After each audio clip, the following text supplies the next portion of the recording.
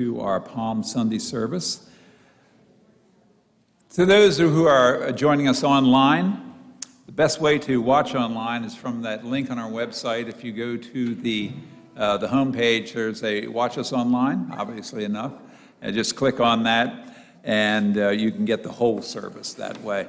Uh, if you are uh, visiting with us today, we have some uh, welcome forms uh, on the back of the pew that you can grab and fill out for us. Online, uh, there is a connect button uh, for uh, to give that information. So please do that and forward that to us. We appreciate that. And we welcome you here today to this time, a very special time this morning where we welcome someone into the life of the church. So I believe our pastor should be ready by now. And there he is. Thank you, Roy. Good morning, congregation. It is so good to be together with you today as we celebrate Palm Sunday, as we celebrate God's uh, gift of his son Jesus, as we celebrate the new life that we find in Christ. Um, baptism is something that we do as a church to symbolize uh, the new life that God gives uh, to us as His people when we put our faith in Jesus Christ. Jesus died, He was buried, and He rose again three days later.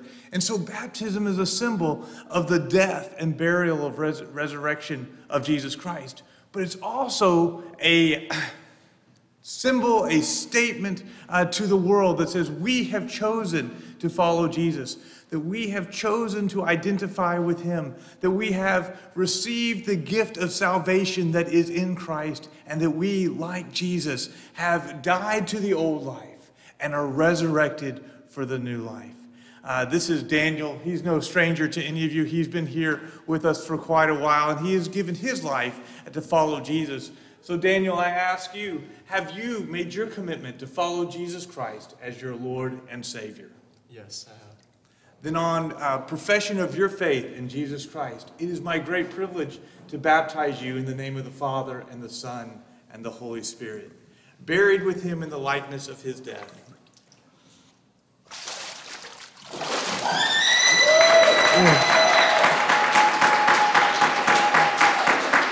And raised to walk in the newness of the life that Christ gives. We celebrate our brother. Let's pray together and pray for him. Father, thank you so much for the new life that you give us all in the name of Jesus. Thank you for his death, his resurrection. God, let us live out this resurrection life. We pray for our brother Daniel. We pray for his family. We pray for the witness that he will be to your son. Let the true, full life that you have for him through your Holy Spirit uh, bless in every way, conforming him to the image of your son, that Daniel would be like him in all respects and be that witness of the new life that you have given us. We give you the praise and the glory in the name of Jesus. Amen. Amen. In Zechariah 9 9, it says this Rejoice greatly, O daughter of Zion. Shout, O daughter of Jerusalem. Behold, your king is coming to you. He is just and having salvation, lowly and riding on a donkey, a colt, the foal of the donkey. Our first song today commemorates that ride.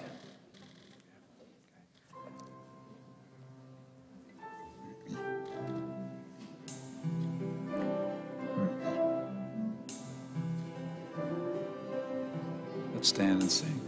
Ride on, ride on in majesty. Hear all the tribes, Hosanna cry.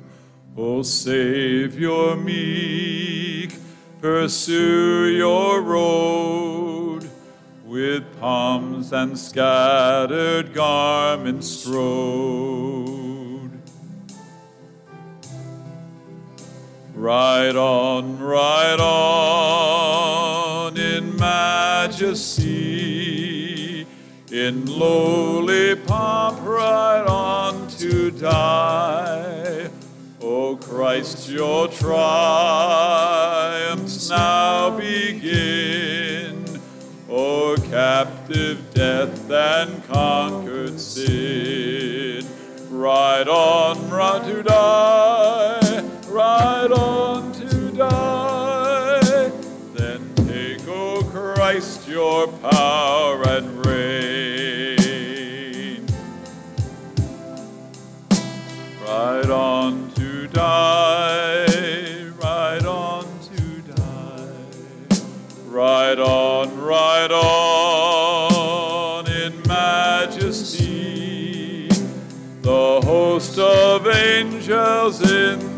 sky look down with sad and wondering eyes to see the approaching sacrifice. Ride on, ride on in majesty. Your last and fiercest strife is nigh. The Father his sapphire throne awaits his own anointed Son. Ride on to die, ride on to die. Then take, O Christ, your power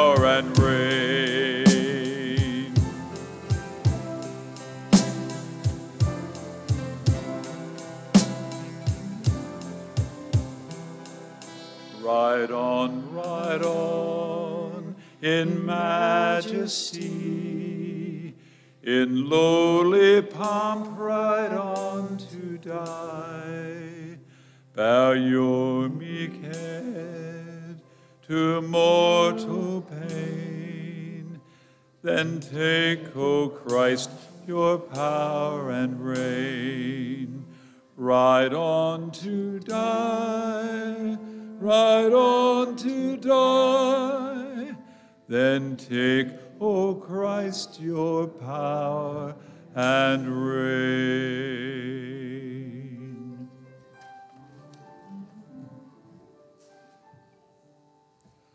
Up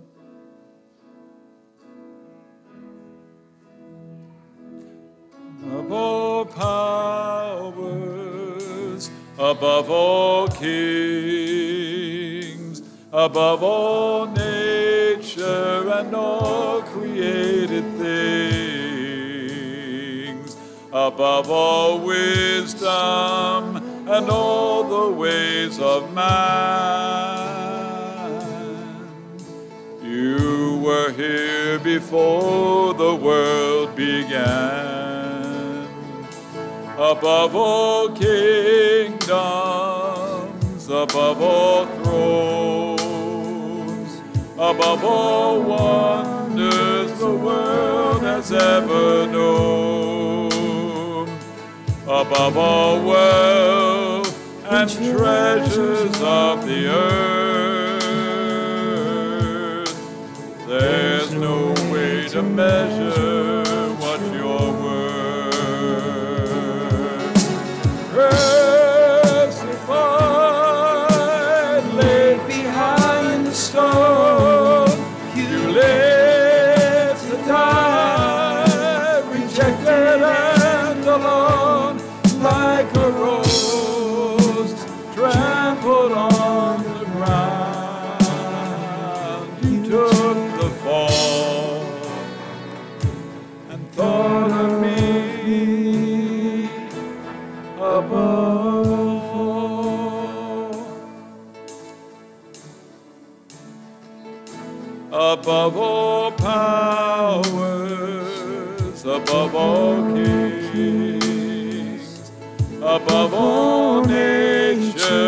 all created things, above all wisdom and all the ways of man. You were here before the world began. Above all kingdoms, above all thrones, above all has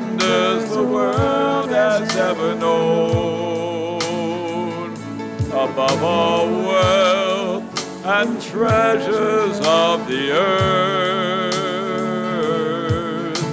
there's no way to measure what you're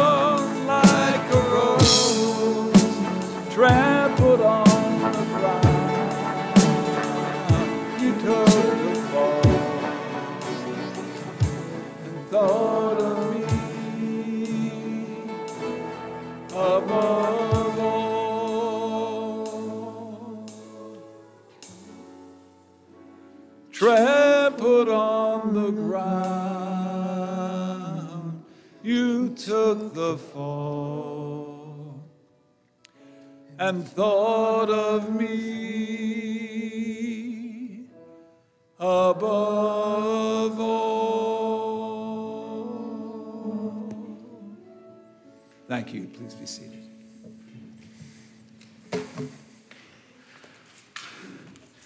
I am so thankful for the love of God that is in Christ Jesus. That God cared so much for our lowly estate, cared so much for us who were held captive in sin, that he sent his own son Jesus, King of the universe, the one by whom and for whom all things were made. This Jesus he sent.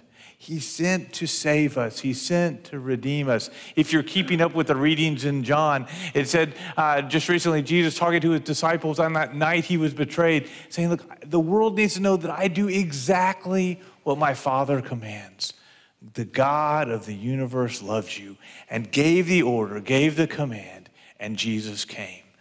It's time for our youngest worshipers uh, to come down front. Hey, Liam, you look pretty excited to come on down. Anybody else who wanted to come, come join us for a minute.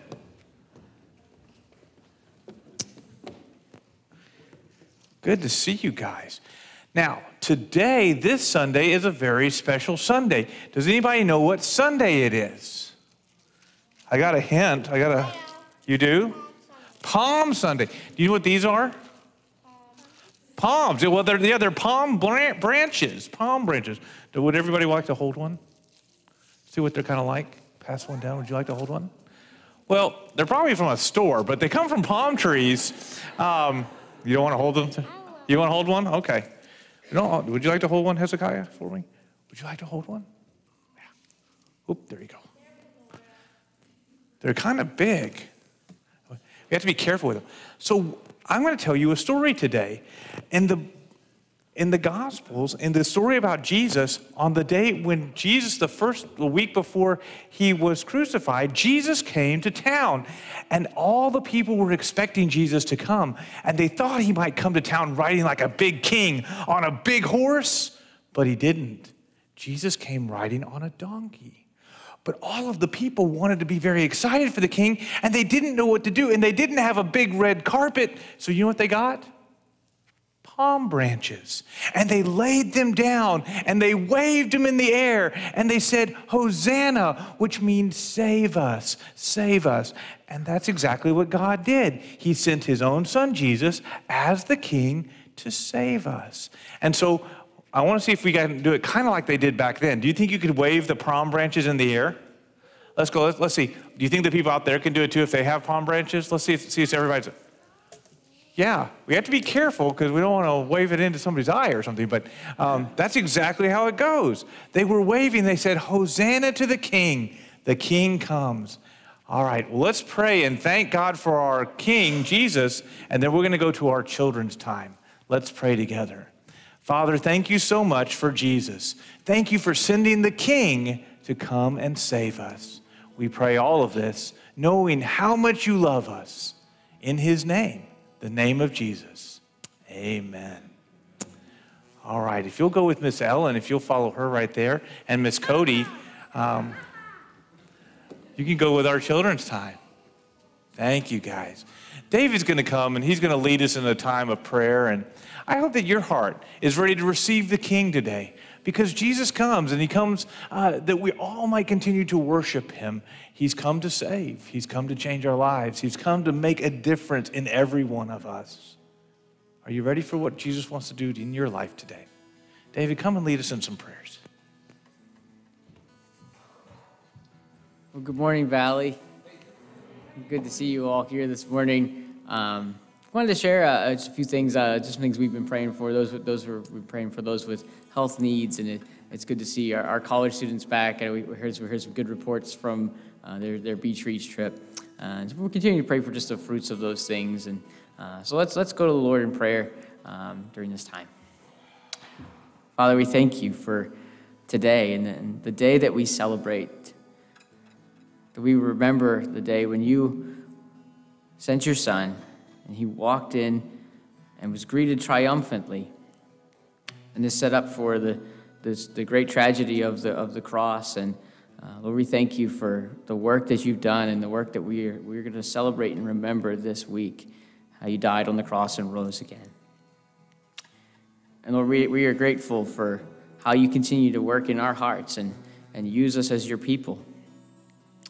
Lord, we're praying for those that have health needs, and we are we are praying for uh, several within our congregation, within uh, families, and we're, we're, we're thankful to, to see Jeremy here today. We continue to pray for him, and uh, we're praying for, for for Kathy Roberts' sister and uh, and her family, some other health issues there. Lord, for my mom, um, Lord, there there are, there are many others with health needs. Uh, we're thankful that you that you work in lives and that you touch hearts, Lord, that you bring healing to us. We're thankful for our uh, our college students being back safely and uh, the good reports we heard about the, the beach reach trip, and we're praying that you continue to work in the hearts of those that, that heard the good news, the, the hearts of those that put their faith in you. And we pray that you would you would, you would strengthen those those new uh, those new new believers help them to get connected with those that can help them grow. Lord, we, we continue to pray for, for our college ministries and the, the work that's going on there this semester, that you would strengthen uh, Mike and Barry and Rachel for the work that they're doing, and uh, both Towson and UMBC, and the, and the, work that continues to go on through, uh, through this ministry here. We pray that you would equip us, or help us to be help us to be strong, help us be ready, help us be bold to reach others with the good news. Lord, I pray that you continue to bless the rest of our service and you speak to us today, as you give wisdom to, to Pastor Mike as, he's, as he preaches. Lord, may your spirit challenge and convict our hearts. And may we encourage one another in our time of fellowship and in our time around your word and Bible study today as well. Thank you for all these things. We pray these things in the name of our Savior Jesus. Amen.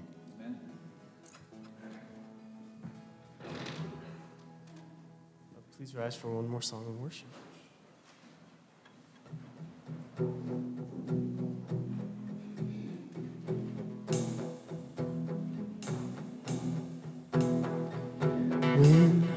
I survey the wondrous cross on which the Prince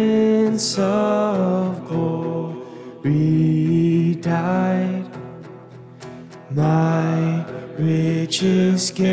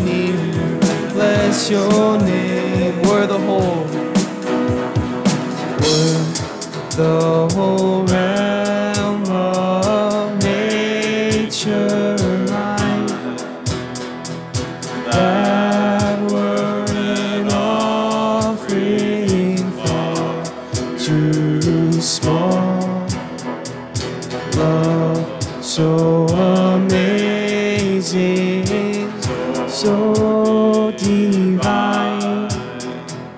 Demands my soul, my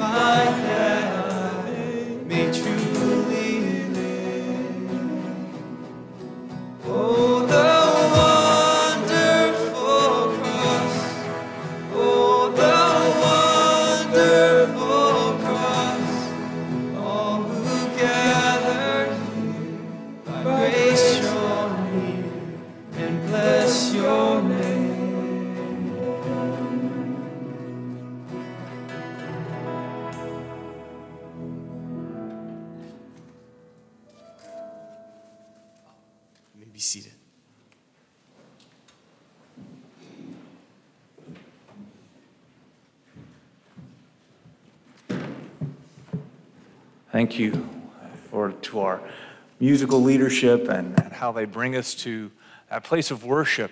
Um, as we sing a song, "Oh, the Wonderful Cross," it, it, it kind of almost strikes me as odd. I mean, I mean singing about the cross. Our- our- of course, we don't worship the cross. We don't worship uh, this this object of Roman torture, th- th- this object, this, this instrument of, of intimidation, of creating fear in a population, of creating incredible, excruciating pain, and ultimately death as a means of an execution. We don't worship the cross, but we're amazed by the cross.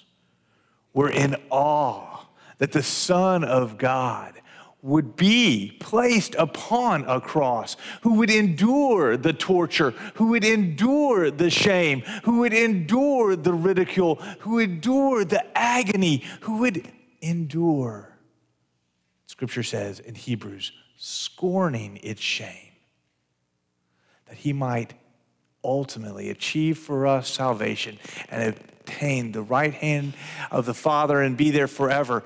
We come to the cross today. We come to think about the crucifixion of the Lord Jesus today. We come because in it, God fully demonstrates his love toward us. In this, that while we were sinners, Christ died for us. Let's pray together and ask God to speak. Father, thank you for the cross. Thank you for how you have given your son's life for ours. That you have given him as Savior, as King, and not leaving him there, but in the grave. Uh, Jesus took his life up again for our salvation. God, thank you so much for this season to remember what your Son has done for us. Help us today. Help us think. Help us remember. Help us respond. We pray this all in the name of Jesus. Amen.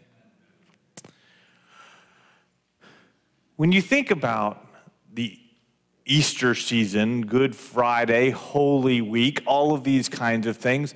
I don't know if you have a sense of awe or a sense of wonder, or if you change your habits um, at all for Holy Week, for Easter week. For those of you guys that are avid pickleball people, there is no pickleball tomorrow night. It's Holy Week. We're kind of taking a week where we're not doing pickleball. I know some are like, oh, I, really, I like it too, but you know, take, we're taking a break. How do you how do you spend Holy Week? What, what, what do you do? It's not spring break for me. I got to go back to class. Anybody got to go to work? Anybody feel like it's going to be just as busy, if not busier, than all the other weeks? What, what makes it holy for us? How do we enjoy? How do we reflect? How do we spend time thinking about what God did? Because it's not this week. I mean, it's 2,000 years ago that Jesus was placed upon the cross. Th- these events happened so long ago uh, that, we almost could get a place where we're disconnected from them, where, where we seem in the busyness and the regularity and the urgency of the items in our own life that we forget and we don't take time to stop, to remember, to honor the sacrifice of Jesus the King. So, to help us this week, we're going to look back at the cross. We're going to look back in, in this sermon series on the March to the Cross. We're going to help us think about the cross. And when you think about the cross, what do you actually think about? What actually goes through your mind? Is it something we can sing, oh, the wonderful cross, but we're not actually thinking about the cross? We're thinking about what's happened. Have I got lunch prepared? Are we thinking about something else today? What do we think about when we think about the cross? Well, I think first, one of the things that helps us is to think about the chronology, right? The events of the cross, the things that happened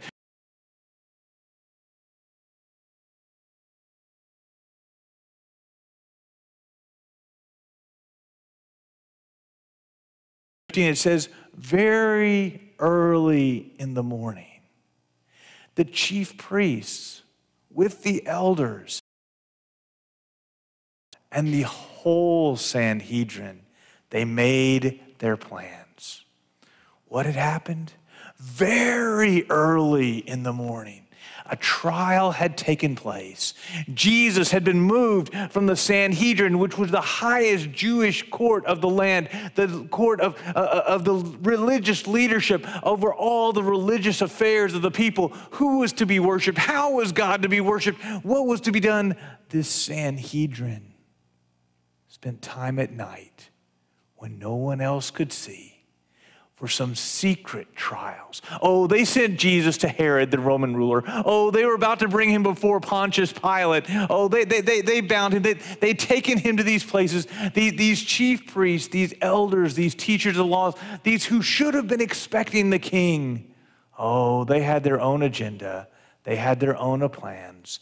So they bound Jesus and led him away and handed him over to Pontius Pilate the Roman governor, who himself took Jesus through a time of trial. Verse 12 Pilate, he doesn't find anything wrong with Jesus. There's no reason for him to be accused. There's certainly no reason for him to be put to death.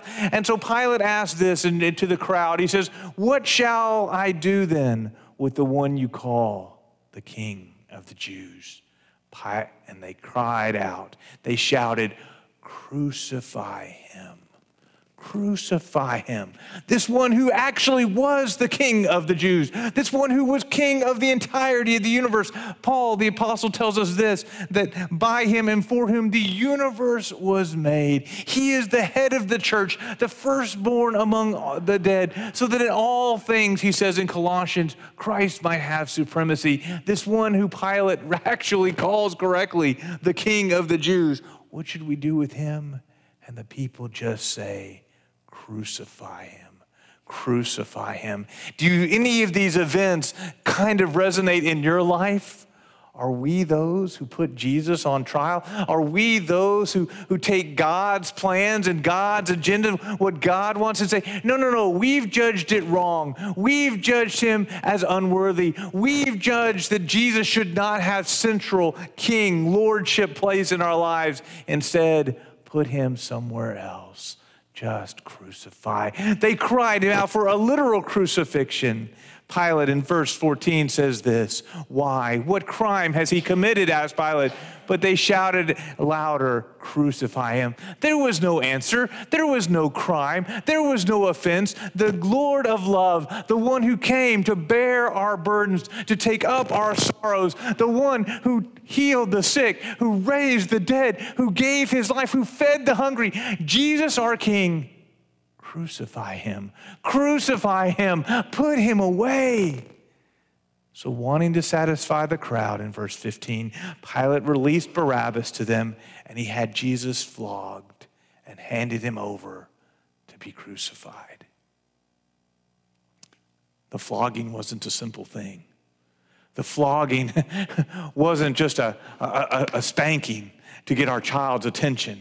The flogging was taking the Roman cat of nine tails, a whip that, that had upon the leather straps pieces of bone, pieces uh, uh, of rock, pieces of any kind of metal that, that they were taken and just lashed across the back till the flesh was ripped from the back. The pain, the agony, the seariness, uh, just, just agony of, of this is, is unbelievable to us. Oh, we might see it in a movie. Oh, we might see it uh, reenacted, but it's a horror that we have never really encountered in our lives. The idea that they had Jesus flogged and then handed him over to be crucified.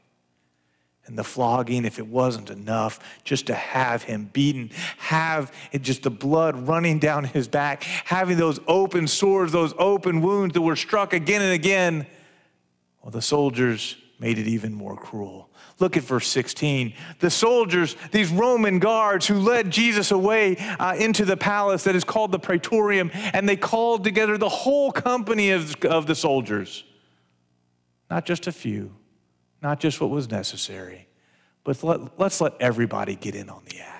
Let, let, let, us make this an event. Let, let, us call out all the people. Okay, come on, guys, this is going to be a good time. And we're, we're going to really tear up this man. We're going to hurt him. And what did they do? Well, in verse 17, they put a purple robe on him. They, they, they, they twisted together a crown of thorns, these symbols of royalty, these symbols of kingship. And in fact, he was king. And they began to call out, Hail, King of the Jews. You understand this was not sincere.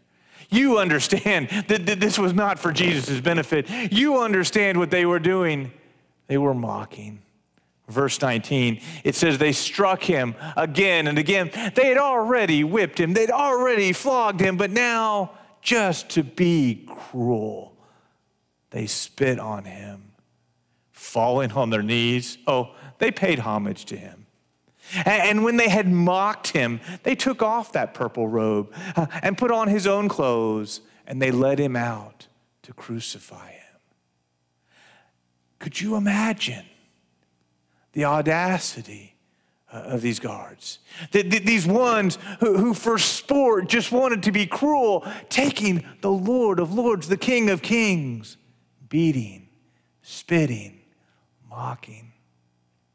Scripture tells us in Philippians chapter 2, talking about us, saying that we, we, should have attitudes that are like Christ Jesus. It says in Philippians chapter 2, verse 5, it says, Your attitude should be the same as Christ Jesus, who being in very nature God, God, did not consider equality with God something to be held on to or grasped but made himself nothing, taking on the uh, very form of a servant, taking on the appearance of man. He humbled himself and became obedient to death, even death on a cross. Therefore, God has exalted him at the highest place that at the name of Jesus, every knee should bow in heaven and earth and under the earth, and every tongue confess that Jesus Christ is Lord to the glory of God the Father. These soldiers who fell on their knees, who with mocking voices said, Hail, King of the Jews. Who, who found some, some robe that they must not have cared too much about, probably was already dirty. He wouldn't have wanted to put it on that bloody back. Put this robe on him, put the crown of thorns on his head, pressed him down, make sure that the blood runs, make sure that the pain is, is excruciating. These ones who spit on him and hit him, mocking, Hail, King of the Jews. There will be a day when every knee, including theirs, will bow, and every tongue will confess that Jesus Christ is Lord to the glory of God the Father. I honestly can't believe what was happening. I, it's hard for me to understand how Jesus could endure those kinds of things. I, I, I think I so often want to stand up for my rights. No one's going to disrespect me. Anybody kind of have that attitude? You can't, uh uh uh. You're not going to treat me like that. And yet, our King, the Lord of all creation, endured the shame, endured the mocking with the physical abuse that came from these soldiers. I, I, I, I, I, can't even wrap my mind around it. Well, after they had beat him to the point of exhaustion, beaten him to the point where he could barely stand, they brought Jesus, it says, to the place called Golgotha, which means the place of the skull. This is where they crucified many of these Roman uh, prisoners, uh, many Jewish people who, who Rome had, had seen as uh, criminals or, or insurgents or anyone who opposed their power or what they think was power. They offered him wine mixed with myrrh, but he didn't take it. He didn't didn't take the one numbing agent, but instead he took the full weight of the pain. He took the full weight of our sins. And it says in verse 24, they crucified him. The words don't do justice to taking the broken, beaten Savior of the universe and stretching him out on a piece of wood. Not, not, not a nice, smooth piece of wood like our, our pews here, but a rugged stick, piece of lumber, jagged, pressing him upon that, stretching out his hands, pulling out his legs, taking nails and piercing his hands and his feet again and again and again as they drove the nails into his body to hang him on that pole, that cross. They crucified him. And if that weren't enough, the cross is then lifted up where his weight becomes agonizing. The pain, you can't even get the, the, the, air into your lungs without being able to push up against the nail in your feet to get enough uh, uh, altitude there, to get enough height to get the air into your lungs. Over and over again. When would it have been enough?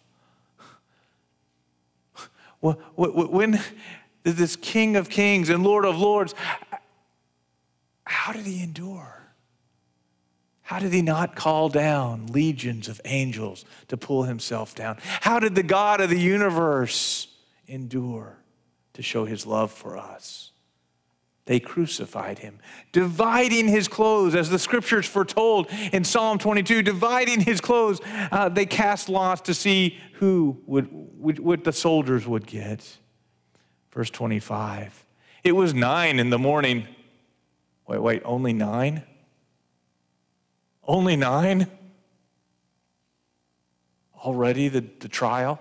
All night? Already the beatings had happened? Already the crucifixion? It's only nine in the morning.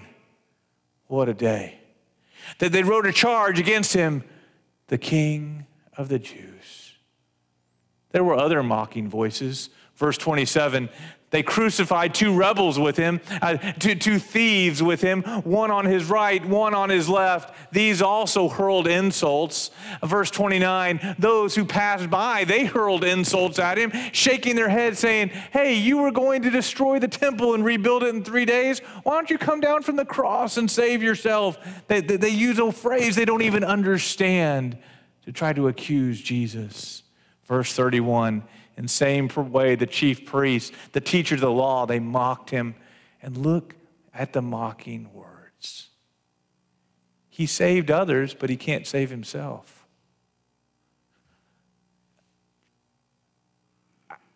I, I can't even wrap my mind around that accusation.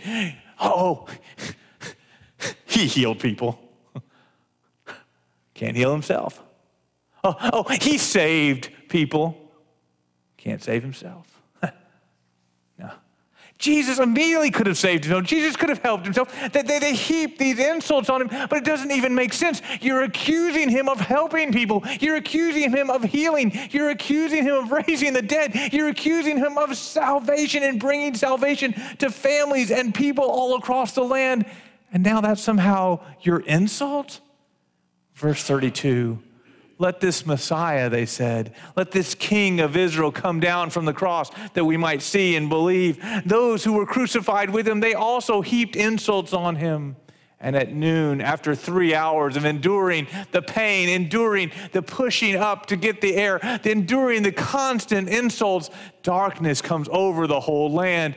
And at three, until three in the afternoon, and at three in the afternoon, Jesus cried out in a loud voice, Eloi, Eloi, lama sabachthani, which means, My God, my God, why have you forsaken me? Now, does this mean that God actually forsook him? Does this mean that God turned his back? Does this mean that he was enduring the full weight of the sins? Absolutely, the full weight of the sins. The rest we know is a prophecy from Psalm 22, which David says, My God, my God, why have you forsaken me? Jesus says the same, uh, King David says the same words, penned the same words a thousand years before Jesus' crucifixion. And in that psalm, it talks about casting lots for his clothes. It talks about piercing his hands and his feet. It talks about all the people who surrounded him and, and accused him in these ways. And Jesus is even then witnessing, You are fulfilling scripture. You are finishing the work that God has intended that I would endure. Jesus was faithful to the end. Jesus was faithful to accomplish God's plan.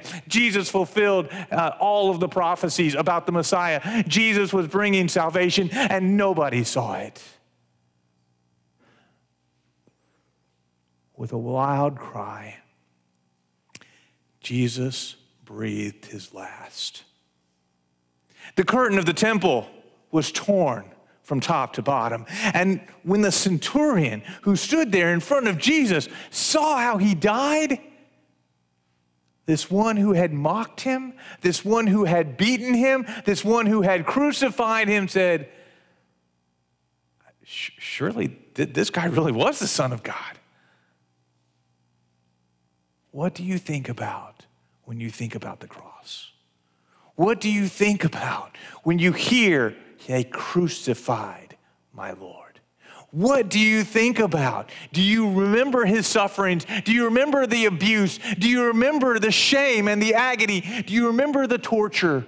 We need to think about what Christ has done. Hebrews, the writer of Hebrews tells us we need to pay more careful attention so that we don't drift away.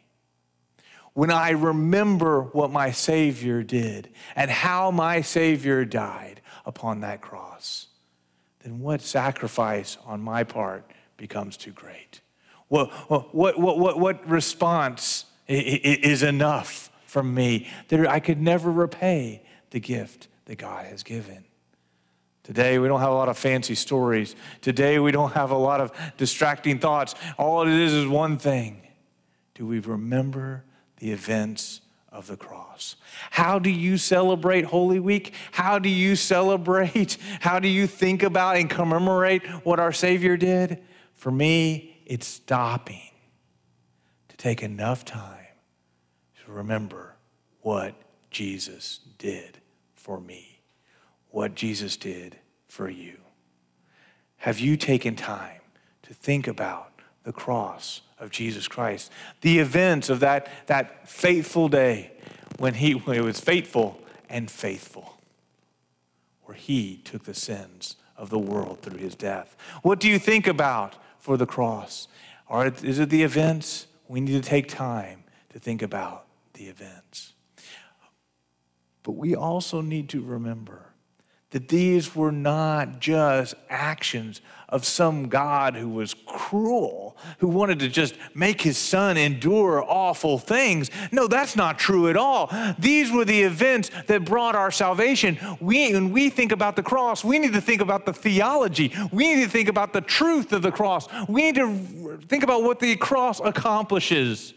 Let's look back at the story. What did it say? When they said in verse 18, Hail, King of the Jews! Hail, King of the Jews! They didn't just mock him, they were actually speaking truth. Jesus is King, He is Lord of all. He is the one that God has promised all the way through His scriptures. I remember the, probably the biggest transformation in my life happened when I, I just, it was me, God, and the Bible. And we just spent about six weeks together, and God began to show me the prophecy and fulfillments, all the places in the Old Testament that spoke about Jesus, the coming Messiah, the coming King, the one who would come to save his people, the one who would come to bring new life. What we celebrated in baptism this morning is a reality that God has been telling from the very beginning. We need to remember that Jesus is the King, He is the Messiah. We need a Savior. Um, one of the groups was talking to me a little bit about studying the book of Judges. In the book of Judges, there's all kinds of heroes but they're all pretty bad heroes. And at the end of the book of Judges, everything goes badly, and, and it says Israel had no king, and everybody did what they wanted. The very next book is the book of Ruth. At the end of the book of Ruth, there's, oh, and Obed became the father of Jesse, and Jesse the father of King David. There was this two books that happened during the same time period in Israel's history. One says they didn't have a king and had no hope, and the other says a king is coming. It's a Bible truth. God has been speaking all the way through. There's a king who is coming. There's a savior who is coming. And in the midst of a, of a, of a world right now that is torn apart by war, by political division, by racism, by hatred, by violence, in this world, I'm here to tell you a king is coming. A king is coming back. A king is coming to make things right. A king is coming to transform lives. A king is coming to change you and to change me. For those of you who are struggling with addictions, for those of you who are struggling with despair, for those of you who feel like you're hopeless and have no way of reconnecting to God or family or anything else, we have a king my family is going through some things, and there's some things that I like uh, brought to the prayer meeting on last Sunday night. I said, This is new for us. We don't know what's going on, and I don't know how to solve it, and I don't know how to fix it. So let's go to the king. Because there is a king who has an answer. There is a king who can change lives. There is a king who's coming. The theology of the cross is the theology of a Savior the one they cried out, Hosanna, and waved their palm branches, Your king, uh, son of David, come save us. He did that very thing through his death on the cross. Oh, it was unexpected. Oh, they didn't understand it, and they certainly didn't deserve it, and neither do we. But we have a king, a king who has come. And a king who is coming back. The centurion was correct when he said, Surely this is the Son of God. This is the one who is sinless, who is perfect, God's one and only Son. Jesus himself said, God so loved the world that he gave his only begotten Son, that whoever puts their faith in him would not perish, but have eternal life. Because just as, and this is in the same speech, Jesus says, Just as Moses lifted up a snake in the desert, so the Son of Man, meaning himself, would be lifted up, lifted up on the cross, that everyone who would look to Jesus would be saved. He is the Son of God. He is the King of the Jews and the King of all and he is our great high priest. Did you hear in the story when Jesus gave up his last, when Jesus gave his last breath? In verse 38, it says this The curtain of the temple was torn from top to bottom. This was the temple that only the high priest could go into the back holy of holy place, this place that represented the presence of God. He could only go one time a year on the Day of Atonement, and on that day, he would offer sin sacrifices for the people and for himself. He, he, he could do it, um, and he had to make sure he was pure and he was holy. That curtain that kept everybody else out, to let nobody else see what was back there, that curtain was torn in two because Jesus, the great high priest, our forerunner, has gone behind the curtain, has gone behind. He has gone behind the curtain and ripped it in half, opening the way for us to have a relationship with God. We no longer have to go through a, a priest an earthly priest because we have a great high priest who is in heaven. We have Jesus, the King, who for once and for all has paid for sins, who has made a way for you to have a relationship with God, regardless of what you have done, because he paid it all. Brothers and sisters, the theology of the cross makes me celebrate. The events of the cross make me contemplate and remember what God has done. But lastly, I want us to see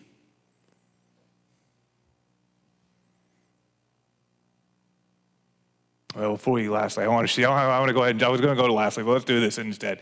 In the same way, let's see verse 31. The chief priest who mocked him, he saved others, but he can't save himself. Oh, what an ironic statement. Oh, what an ironic statement. Was he saving others? Sure, he saved others but absolutely could have saved himself. In Matthew 26, Jesus said, Do you not think that at once I can call on my Father and he will put at my disposal 12 legions of angels? Jesus at any time could have said, Enough, enough of the mocking, enough of the beating, enough of the flogging. I'm, I'm done with this. I've had, had a hard night. People are falsely accusing me. Done. He could have stopped it at any moment. He could have put an end. But in the garden, he said, Not my will, but yours be done, Father. When they beat him, I think he said the same thing. I want this to stop. And he absolutely had the power to stop it. But not my will, but the Father's. When they spit on him, when they put crowns of thorns, Hail, King of the Jews. Oh. But he didn't. He stopped. It's not my will, but yours be done. When they were putting the, the, the, nails in his hands and his feet, not my will, but yours be done. At every point, he surrendered to the Father's will, and he could have brought down the legions of angels, but didn't. He suffered and he fulfilled what God said in Isaiah 53. It said, He was a despised and rejected by mankind, a man of suffering, familiar with pain, like one from whom we hide our faces. He was despised, and we held him in low esteem. But surely he took up our pain on that cross. He bore our suffering on that cross. Yet we considered him punished by God, stricken and inflicted. Um, he was pierced for our transgressions, and, and he was crushed on that cross for our iniquities. The punishment that brought us peace with God, that tore the temple curtain in two, was upon him, and by his wounds we are healed. Oh, we all, like sheep, have gone astray, each of us to our own way, and the Lord has laid on him the iniquity of us all. Isaiah 53 prophesied that the Son of God would come. He would bear our sorrows, he would bear our pains, he would bear our sins, our iniquities, and on that cross, Jesus paid them all. We, like sheep, have gone astray, but God took every one of your sins, past, present, future. He took them not only for you, but for the sins of the world and placed them on his son. And Jesus paid for them all. The Apostle Paul says it this way God made him who had no sin to be sin for us, so that in him we might become the righteousness of God. Don't miss the theology there. There was a great exchange. God took every bit of us, every bit of our sin, our weakness, our frailties, all the mistakes, all the errors, all the iniquities and things where we just said, God, you know what? I wish you would crucify your plans for me. Crucify your son. God, I don't want your will in my life. I'm choosing my way. He took all of that and let Jesus pay for those sins so that in Jesus we have His standing, His righteousness, His holiness is given to you. You didn't earn it, but you receive it by grace and you receive it by faith. You put your faith in the Son of God, and what He did on the cross counts for you. You appear before Him righteous. Don't miss the theology of the cross this week. Don't miss that great exchange. Don't miss that incredible act of mercy. Don't miss, well, don't miss the invitation of the cross. You see, there's not only these events, there's not only the theology and, what Jesus accomplished in the cross, but there's also an invitation to you in Luke chapter 9, way before the crucifixion had even happened, before the people even understood what Jesus was talking about, he said, Whoever wants to be my disciple, whoever wants to follow me, whoever wants to, to, to have this life that God has, wants to give you, whoever is going to be my disciple, Jesus says, you must deny yourself. Take up your cross daily and follow me. For whoever wants to save their life will lose it but whoever loses their life for me will save it. We don't just come to Jesus and say, Sure, sign me up. I'll take all that forgiveness. We come up and say, Sign me up. My life now belongs to you. My life is now yours. I, I, I want to follow you. Oh, we fail. We fail many times. James in the, says we all sin, and the Greek word is pluta, a bunch. We all sin a lot. Uh, it can be many times or many ways, but it really just means a bunch. We all mess up, but we are called to daily take up our cross and follow Him. Now, you've heard that phrase over and over again. Well, that's just the cross I have to bear, I guess. what are you talking about? I don't know. It's your wife, your kids, your job. I don't know. That's just the cross I got to bear. That's not what He's talking about. The cross is the surrendering of your life to Him. Jesus, you get it all. You get it all. Take all to you I owe. Second Corinthians chapter 5 says, And he died for all, that those who live should no longer live for themselves, but for him who died and was raised again. That's what baptism's about. That's why we do that symbol, because it says our lives in Christ Jesus, we died with him. My will, I'm trading for his will. There's a new life. My life belongs to you now. You took the old life, you paid for the old life. My old life deserved death, and it has died with you. And now my new life is with your resurrected truth living inside of me, your spirit making me alive, you leading me, you guiding me. This is the invitation. Come, follow. How will you reflect? How will you commemorate this Good Friday, this Easter Sunday, this Holy Week? For me, it's taking a chance to stop and remember what my Savior went through. To me, I've got to take a moment to think about all that, that Jesus accomplished. That, that this great transaction of taking my sins and giving me new life.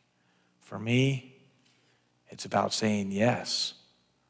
Yes to Jesus. This life belongs to you. It's a rededication of myself to Him. For you, what does this Easter week need to look like for you? Is it taking time to remember the cross? Is it our Good Friday service? Is it throughout the week reading the Gospel of John with us? Is it taking time each day to think about Him? For some of you, it might begin today in a whole new way. You've been to church before. I, I get it. Maybe you grew up in church. Maybe you've heard this story of Jesus again and again, but for some reason it clicked today. For some reason, it was like, wait a second. Wait, wait, wait. No, this is speaking to me. Wait, I have never said yes to Jesus. I have never asked him to forgive me. Uh, maybe you're a teenager. Maybe you're, maybe you're a young adult. Maybe you're uh, an older saint among us.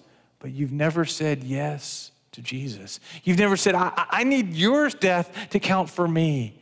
Jesus, I belong to you. How do you need to respond to him?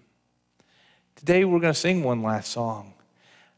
But I want you to maybe be willing to do something different. Maybe stay seated where you are. Maybe come to the front, kneel at the altar. Maybe go and stand in the back or something. But whatever you need to do to just offer yourself and say, Jesus, I'm yours. If that's a, a rededication because you're a believer, you respond. Maybe if you're a new believer, because today you said, I want to follow Jesus. You just want to come up and let me know, let Pastor David know and say, Look, I, I, I'm in, I need to follow you. You respond as God calls you. We're going to have one last song. The music team is going to lead us. And as we do, would you respond by just saying yes, yes to Jesus? Let's pray together. Father, thank you. Thank you for your plan that was so awful and so wonderful all at the same time. Thank you for sending your son who was obedient to death, even death on a cross. Thank you for his love for his people. Thank you for his love for us, that he would call us friends, that he would love us and show us the full extent of his love through the cross. Thank you that you loved us. God, help us. Help us love you back. Help us love the world and be agents of your love. Help us be those that, that, that show that you are alive, that you are alive in us that your death we embrace so that your life might flow freely and fully in us and through us. Father, come. Change your people today. Come as we respond to you. We pray this in the name of Jesus. Amen. I invite you to stand if you would like to stand and sing. If you want to sit and sing, um, if you need to do business with the Lord, you do that. If you need to come to the altar and kneel or, or sit or pray or, or, or, or stand up front or speak to me or David, you come, you respond.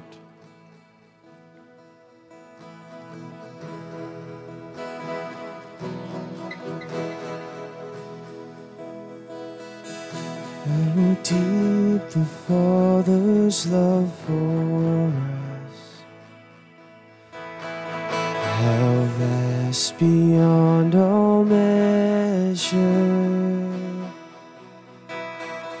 that He should give His only Son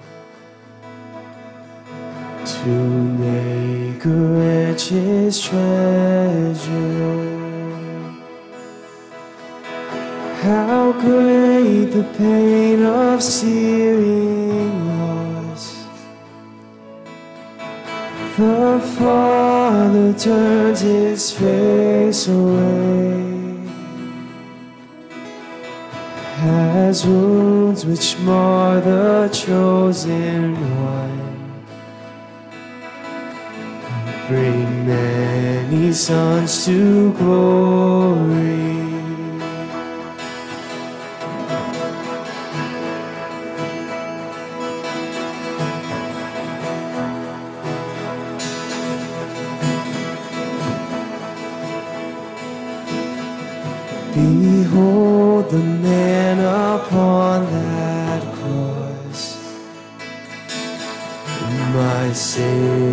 Upon his shoulders. Ashamed, I hear my mocking voice call out among the scoffers. It was my sin that held him there until it was accomplished. His dying breath has brought me life. I know that it is finished.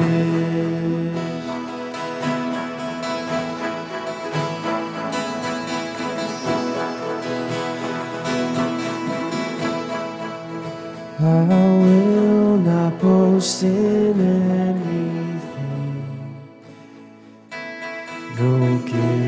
no power, no wisdom.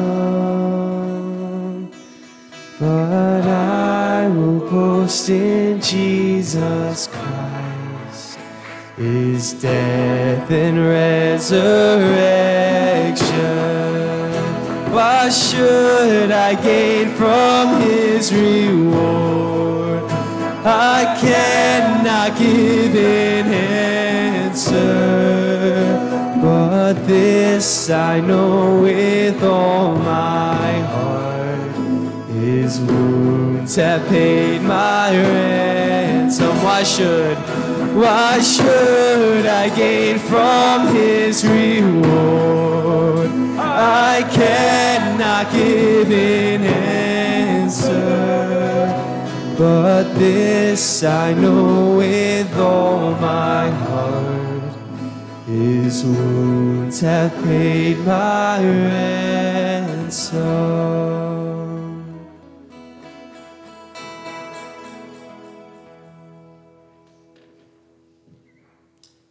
Amen. You may be seated. Today, if the Lord is speaking to you and maybe you haven't quite got all this figured out and, and the good news of Jesus, this death and resurrection and all this kind of stuff, and you're like, there's something there, but I don't understand it. Don't let today slip away without grabbing a believer. Myself, Pastor David, one of the Sunday school leaders, uh, uh, Bible study leaders, just pull them aside and say, How do I have this? I, I need Jesus in my life. I need this forgiveness. I need this new life. Don't let today pass. Don't let today pass. Rachel's going to give us uh, some announcements about what's going on this week for Holy Week and for today. Well, good morning, Valley. Um, I just wanted to start off really quickly by thanking you all so much for praying um, for us, for the Grace Life Ministry as we went down to Panama City Beach this last week. I missed you all, uh, and it's good to be back. Um, but I just wanted to thank you for praying, and I wanted to just encourage you um, by sharing that while we were there, we were with a group of nearly 500 other college students from, from around the country. And this past week, the gospel was shared with more than 3,000 college students who were celebrating spring break, having, you know, living their best life um, in, from their perspective. And um, out of those gospel conversations, 173 students made professions of faith, crossed from death to life this past week. I say that to encourage you, but I also would implore you to continue praying because now begins the hard work of discipleship for those students as we got their contact information and they'll be followed up with in their local churches and on their campuses. Um, but now, now begins the hard work. Um, and so I, can, I would ask you to continue praying um, for those students who made, who considered the invitation and said yes this week. So thank you. Um, I have some announcements, some ways to continue to fellowship together this week. Uh, first, as always, there's um, multiple ways to give. Um, you can give online or in the black box with envelopes um, here and in the back if you would like to join us in that way. Of course, it's Easter, and so for uh, this month of March, we're also doing an Easter missions offering. That will be separate, and on the envelope, you can indicate that you would like to give toward the Easter offering. Um, we're partnering with three ministries for our Easter offering. First is the Salam Center of Baltimore, then East Baltimore Graffiti Church, and also Caleb Russell has just started um, with Trans World Radio and is fundraising for that. And so if you would like to um, indicate that you would like your offering to go to the Easter offering, this will be split evenly between those three ministries. If you have more questions, you can talk to me or anyone on the missions team. Wednesday night, uh, we'll be having dinner on April 3rd at 6 p.m. Um, you can register online on the website or through the newsletter or kind of up front at that welcome desk where the name tags are. Um, This is not a potluck, and so uh, some volunteers will be cooking for anyone, for everyone that comes, and so be sure to register so we make enough food. Um, You can see Mike right here if you have questions about that. Um, And that's if you're willing to help with setup and tear down, you can talk to him. Uh, Christine, you still looking for people that are wanting to sing on Easter? All right, excellent. Christine is um, continuing to put together a choir for Easter Sunday. So, you know, if you would like to serve in that way, if you'd like to participate, make sure to see Christine after the service. You got one week to, uh, to practice and be ready for that. So, um, if God has put that on your heart, be sure to talk to her. Um, if you would like to make a joyful noise to the Lord. This Friday, we are having a Good Friday service at 7 p.m. Um, it's going to be just a time of worship, and um, then we'll go straight from that into our regular Friday night activities, I believe. Um, so be sure be sure to come out uh, 7 p.m. this Friday for our Good Friday service. There will be a celebration of life for Edith Higgs on Saturday, April 13th at 12 p.m. Um, for, for those who knew her, come for a time to celebrate and remember, and remember Edith, who passed away in January. Today, we have Bible studies following the service. We have four options uh, Valley Basics that Mike will be leading in room 208 210, uh, Discipleship Journey um, that Mike uh, York will be leading in the Heritage Room right over here. Men Looking in a Mirror that Nate and Calvin are leading in room 211, that's the one back by the gym. And then Praying God's Word by Beth Moore that uh, Vicki will be leading today in 207, 209 outside the hall. Um, and then there will also be children's and youth classes available. Tonight we'll have a time of prayer at 6 p.m. in the foyer. Pickleball, as Mike mentioned, is not happening this week, um, and so don't don't come out tomorrow, but we will resume next week. We'd love to have you for that. Wednesday evening, we have our virtual prayer meeting at 7 p.m., which you can find the link for on the website or in the bulletin. ACTC food collection on Thursday at 5. And then Fridays at Valley. We, um, as I mentioned, we're having Good Friday service this week, so there will be no youth group. Um, but we will have a time of worship, and then we'll head straight into volleyball, board games, a time of fellowship uh, following the service. So we'd invite you to join us for that. So if you don't have to run off, please do stay and join us for Bible study this morning. Um, so let me let me pray for us, and as we head into those. Father, I just thank you for the gift of your Son. God, I thank you for the gift of fellowship that we have with other believers who profess um, that Christ is our King. Uh, God, I thank you for students who made that commitment for the first time this week and who will celebrate Easter in a whole new way uh, next Sunday. And so, God, I just uh, pray that you would be doing a work in all of our hearts to draw us nearer to yourself, to that we would be willing to just surrender our lives daily to the call that you've placed on us. God, I pray for a time in Bible study that you would just open up your word, um, that you would soften our hearts and our minds to the truths that you would have to teach us. And God, and I pray um, that as we come together again and again this week to, to celebrate um, just the new life that we have in you, that you made a way on the cross and demonstrated your power over death in the resurrection. God, I pray that that truth would not um, grow old to us, but that it would be uh, just new every morning, that we would be just a people who rejoice um, in the new life that we have in Christ. So, God, I just thank you um, for this morning. I just pray that you got our time. I ask these things in the name of your Son, Jesus. Amen. You are dismissed.